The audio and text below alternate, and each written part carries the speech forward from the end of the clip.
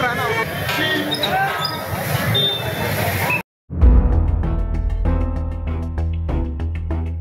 दिनों पहले हमने इसके घर पे सट्टे की रेड डाली थी जिसके तहत चलती गाड़ी में इससे हमें एक हाईटेक सट्टे की मशीन मिली थी, जिसमें 50 से 60 उपकरण मोबाइल फ़ोन लगाए जा सकते हैं।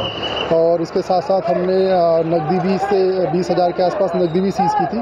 पूर्व में इसके काफ़ी आपराधिक रिकॉर्ड भी थे। इस वक्त ये थारा, थाना, थारा कुआँ के अंतर्गत पकड़ा गया था। तो उसी के तहत जो भी गुंडा विरोधी अभियान में जो भी बिल्डिंग का अवैध पार्ट है इसका, उसको आज तोड़ा जा रहा है। आगे इस कार्रवाई लगातार जारी रहेगी। हाँ जो भी क्रिमिनल्स हैं उनके खिलाफ जो भी शासन की गाइडलाइंस हैं जो भी शासन की पॉलिसीज़ हैं उसके खिलाफ हम कार्रवाई करेंगे।